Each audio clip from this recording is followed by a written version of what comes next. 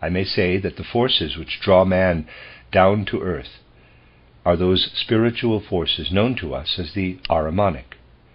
which include all that is thought or carried out materialistically by mankind.